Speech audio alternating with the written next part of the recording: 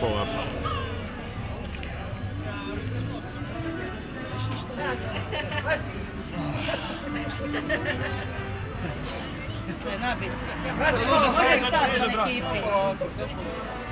Viš sam ja na jednoj svadbi gdje uopće nisu mogli otvoriti. Onda su snovi. Sad ga imaš, sad ga imaš.